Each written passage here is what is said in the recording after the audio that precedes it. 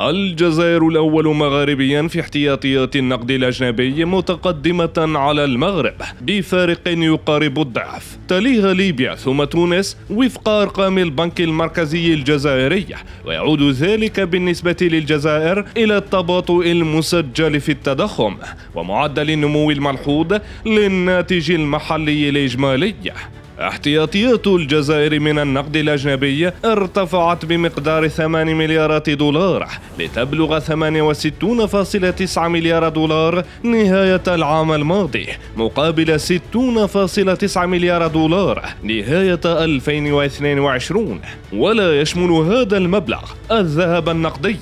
تقرير البنك المركزي. أكد أن هذا المستوى من احتياطيات النقد الأجنبي الذي يفوق بكثير الحد الأدنى من توصيات المعايير الدولية يشهد على صلابة الموقف الخارجي للجزائر. زيرتوب أول قناة إلكترونية في الجزائر.